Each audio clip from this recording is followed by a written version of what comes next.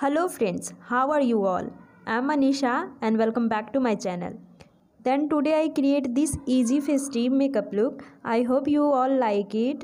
तो मैं अपने हर वीडियो में product details product benefits and कैसे यूज़ करने हैं, कौन से प्रोडक्ट को कहाँ पे अप्लाई करना है, मैं सब कुछ डिटेल में बताती हूँ। ताकि आप बिगिनर्स हो तो आपको बहुत इजी हो जाए मेकअप करना और कौन से प्रोडक्ट के बेनिफिट्स हैं, वो सब आपको मालूम हो जाए। तो अगर आपको मेरे वीडियोज़ अच्छे लगते हैं तो प्लीज़ मेरे चैनल को सब्सक्राइब करें वीडियोज़ लाइक करें कमेंट ज़रूर करें एंड फ्रेंड्स फैमिली के साथ शेयर ज़रूर करें। तो अब वीडियो स्टार्ट करते हैं। सबसे पहले मैंने यहाँ पे यूज़ किया है गुड वाइब्स का एवोकाडो टोनर। टोनर आपके पीएच बैलेंस को मेंटेन करता है, आपके स्किन को हाइड्रेट करता है एंड मॉइस्चराइज करता है। तो ये अप्लाई करना मेकअप करने से पहले बहुत ज़रूरी है। आप इसके जगह पे रोज़ वाटर भी यूज़ कर सकते हैं। अब मैं यहाँ पे यूज़ कर रही हूँ गुड वाइब्स का रोज हिप सीरम। सीरम आपके अनइवन स्किन टोन को ब्राइट करता है।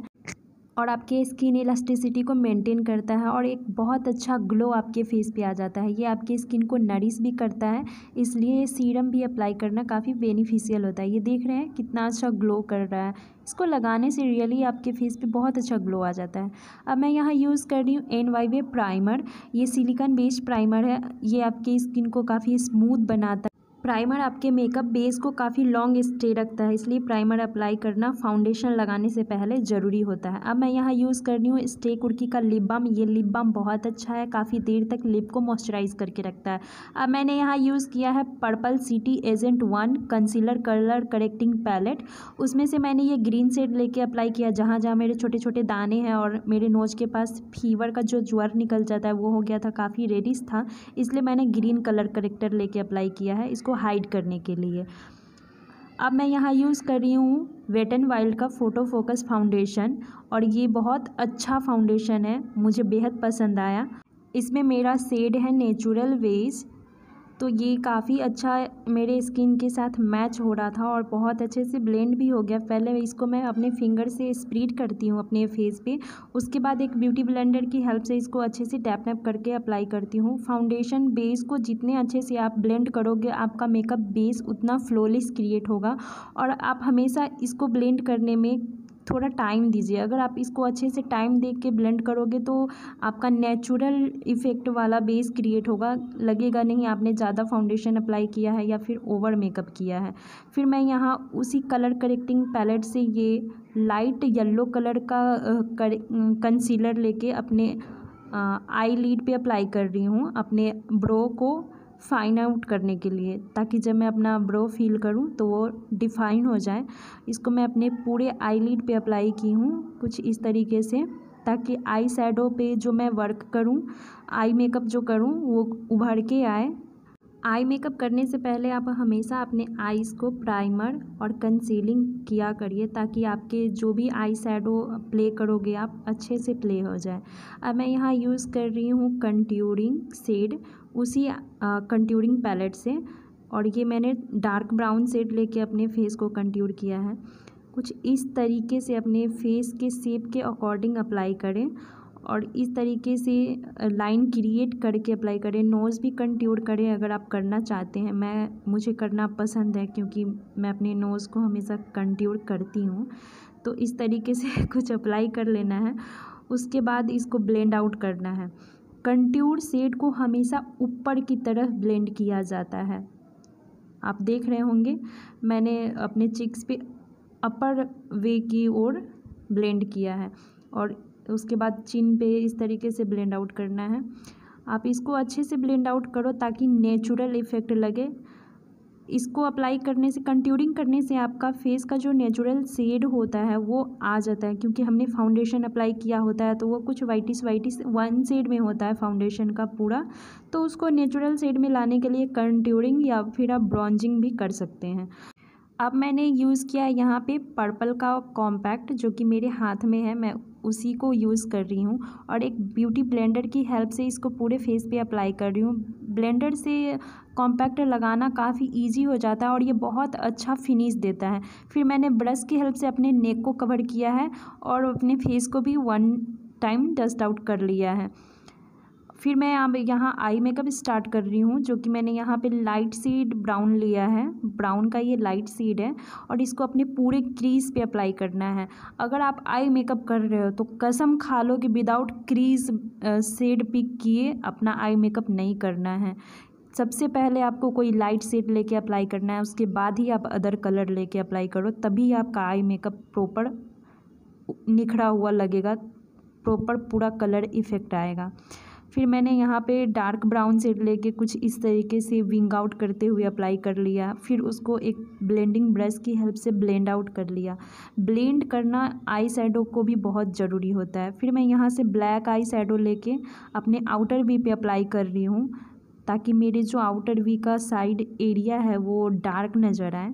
फिर मैं यहाँ कंसीलर लेके इसको कट क्रीज दे रही हूँ। अपने क्रीज़ को कट कर रही हूँ ताकि यहाँ पे मैं सिमरी आई सैडो पिक करने वाली हूँ और यहाँ पे मैं अपना सिमरी आई सैडो लगाऊँगी। कुछ इस तरीके से आप अपने आई के अकॉर्डिंग सेप के थ्रू कट कर लीजिए। फिर मैं यहाँ पे ये सिमर आई सैडो पिक की हूँ। और यहाँ पे ये गोल्डन है गोल्डन सिमर आई है, फिर ये गोल्डन लिक्विड आई है। इसको मैं अपने उसी के ऊपर अप्लाई कर रही हूँ, जहाँ मैंने सिमर सीड का आई अप्लाई किया था, वहीं पे मैं इसको ऊपर से अप्लाई कर रही हूँ, ताकि मेरा डार्क नेचुरल डार्क इफ़ेक्टिव आए सॉरी डार्क कलर लगे। तो मैंने कुछ इस तरीके से अप्लाई कर लिया है। और कंसीलर लेके मैंने अपने विंग्स को क्लियर किया है ताकि इधर उधर जो भी कलर फैल गए थे, वो इक्वल लाइन में क्रिएट हो। फिर मैं ब्लैक और ब्राउन आई शेडो को मिक्स मैच करके अपने इन लोअर लेस लाइन पे स्मच आउट कर रही हूँ ताकि मेरा आई लुक कंप्लीट लगे। क्योंकि अगर आपने ऊपर में आई मेकअप किया है और नीचे स्मच आउट ना करोगे तो आपका आईज़ थोड़ा अनइवन दिखेगा कंप्लीट नहीं दिखेगा।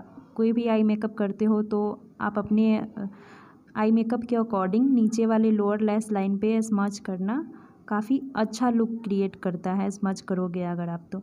फिर मैंने यहाँ पे ब्लैक और ब्राउन आई सैडो को मिक्स मैच करके अपना आईब्रो फिल किया है। मैं हमेशा ब्लैक और ब्राउन को मिक्स मैच करके अपना आईब्रो फिल करती हूँ ताकि मेरे आईब्रोज़ को नेचुरल सेड मिल सके।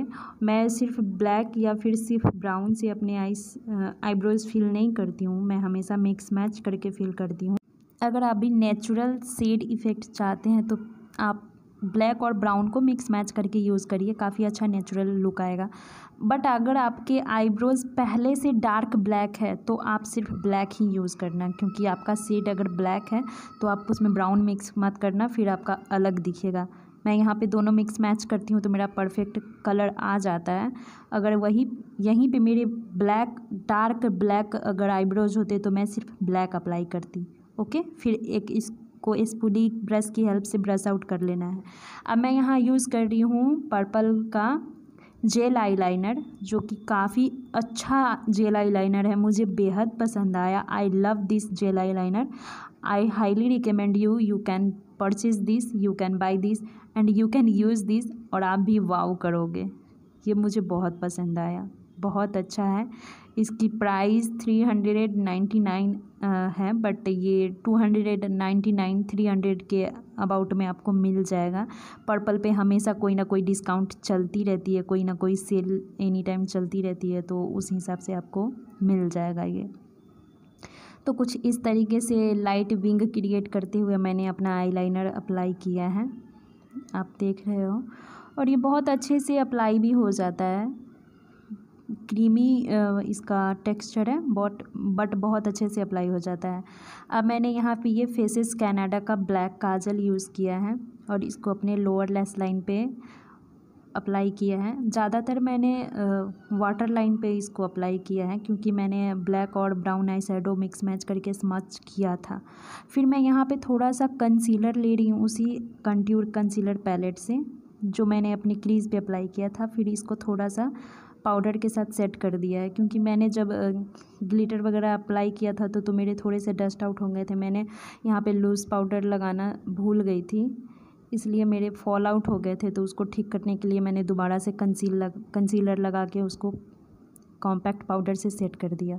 फिर मैं यहाँ पे मस्करा यूज़ कर रही हूँ, जो कि मार्स का वाटर प्रूफ है। आप अगर लॉन्ग स्टे पार्टी या फेस्टिव के लिए मेकअप कर रहे हो तो हमेशा आप वाटर प्रूफ बेस मस्करा और लाइनर यूज़ करो, ताकि स्मच ना हो और आपका मेकअप लंबे समय तक टिका रहे, बीच में आपका मेकअप ख़राब ना हो जाए। इसलिए आप हमेशा वाटर प्रूफ का यूज़ करना बेटर होता है। आजकल ज़्यादातर तो सब वाटर प्रूफ ही यूज़ करते हैं। समर में तो वैसे भी इंपॉर्टेंट हो जाता है वाटर प्रूफ मेकअप यूज़ करना, क्योंकि बहुत ज़्यादा स्वेटिंग होते रहते हैं। फिर मैं यहाँ पे ये आई लेसेस पे ग्लू लगा रही हूँ और इसको लगाने के करीब थर्टी सेकेंड या वन मिनट तक आप इसको छोड़ दो। जब ये फिफ्टी टू एटी परसेंट सूख जाए तब इसको आप अप्लाई करो। काफ़ी ईजिली ये चिपक जाएगा आपके आईब्रो के साथ। अगर आप तुरंत लगाओगे तो नहीं चिपकेगा।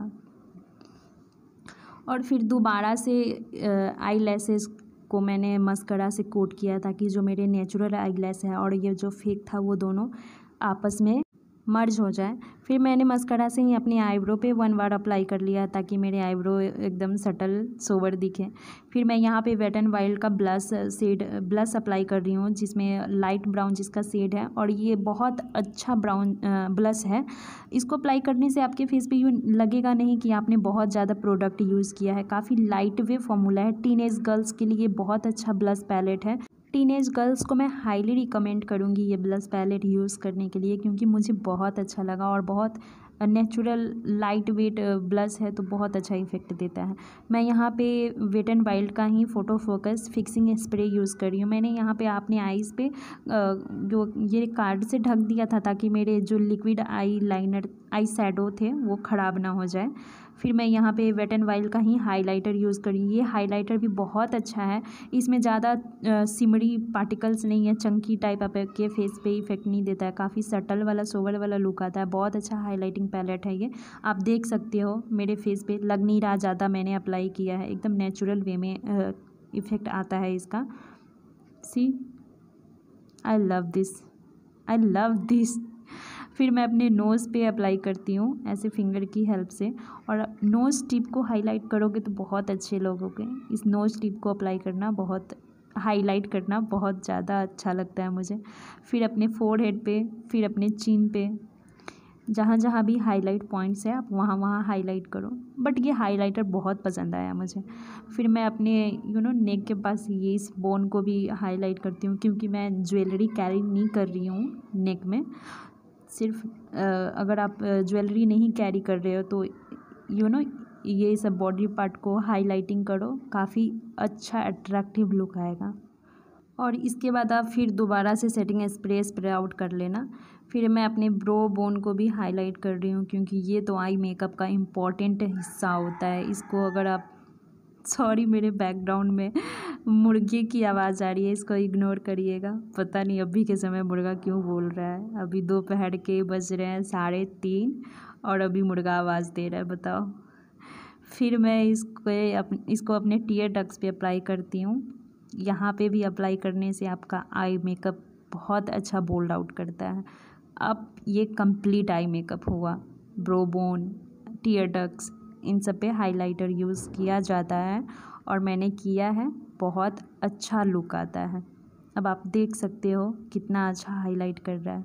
अब लास्ट स्टेप आता है जो कि है lipstick favourite important part of the makeup अगर आप पूरा फेस में मेकअप ना करो और लिपस्टिक अप्लाई कर लो तो भी आप बहुत खूबसूरत लगोगे। बट मेकअप और लिपस्टिक ना, ऐसा तो हो ही नहीं सकता। विदाउट लिपस्टिक पूरा मेकअप अधूरा है। तो मैंने यहाँ पे फेसेस कैनेडा का लिक्विड लिपस्टिक यूज़ किया है। और ये रेड है। बट ये बहुत ज़्यादा यू नो चंकी लग रहा था मुझे फेस पे। काफ़ी ज़्यादा लाइटिंग दे रहा था। तो मैंने इसको थोड़ा इसके कलर को डाउन करने के लिए यहाँ पे यूज़ किया है। एन वाई का न्यूड सेड लिपस्टिक है ये। ये न्यूड सेड लिपस्टिक है। इसको मैंने इसके ऊपर अप्लाई किया है। तो ये थोड़ा सा कलर इसका डार्क डीप ब्राउनिश टाइप का हो गया है, जो कि ये कलर मुझे बहुत अच्छा लग रहा था। मरून टाइप का हो गया था। तो फ्रेंड्स ये रहा मेरा फाइनल लुक आई होप आप लोग को ये लुक पसंद आया होगा। अगर आप लोग को ये लुक अच्छा लगा तो प्लीज़ कमेंट बॉक्स में बताइएगा ज़रूर। अगर आपके मन में कोई क्वेश्चन है तो वो भी आप कमेंट बॉक्स में टाइप कर सकते हैं। मैं रिप्लाई करती हूँ। तो मैं मनीषा मिलती हूँ आप सबसे अपने अगले वीडियो में। Till then take care bye bye